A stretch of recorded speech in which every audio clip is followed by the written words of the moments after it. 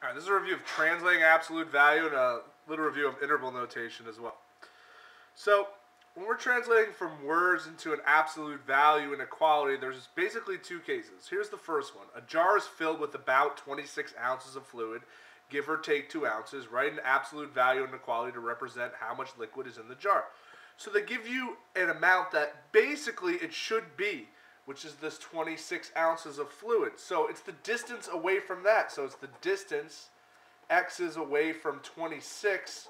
It's within, give or take. They might talk about tolerance. It's, a, it's about is less than or equal to. Here's the tolerance. It's within, within 2 ounces. So that translates into the absolute value of x minus 26 is less than or equal to 2.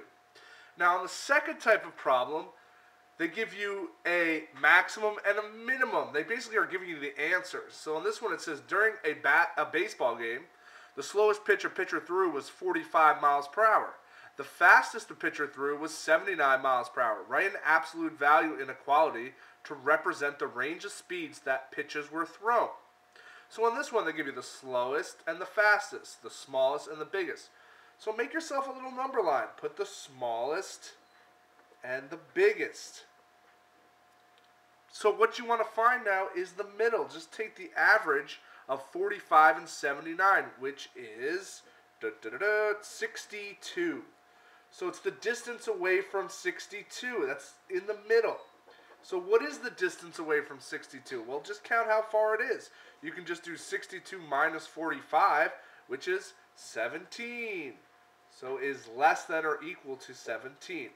So those are the two type of translating problems from words. All right, when you're given the absolute value and you want to translate it, remember we're talking about distance. Distance, what's the different distance from 7 to 4? It's 3, because 7 minus 4 is 3. So when we're trying to find distance, it's about subtraction. So on this one, when you have the absolute value of x plus 14 equals 2, what this really is, is that the distance x is from, now you might think from 14, but it's the distance x is from negative 14. And because in reality, this plus here is actually minus negative 14. So the distance x is from negative 14 equals is 2.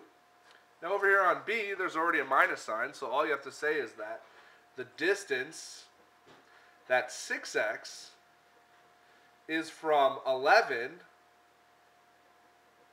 is 5.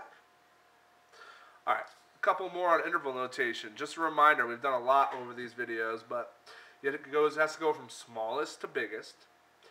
When we have solid circles, use a bracket. When we have open circle, use a parenthesis. So on this one, the smallest x could be, translating this graph, would be negative infinity. Up until and including negative 2. Then it hops. Anytime there's a hop, I'll use a union sign. Then including 0 up to 6 not including 6. Then another hop, so another union sign, and then from 7 until infinity. On B, if we look, the smallest that it could be is negative 3, not including negative 3, up to 1, including 1, so bracket. Then it hops, so union. Now, there's just 3. It's just a point at 3. So to represent that, I just put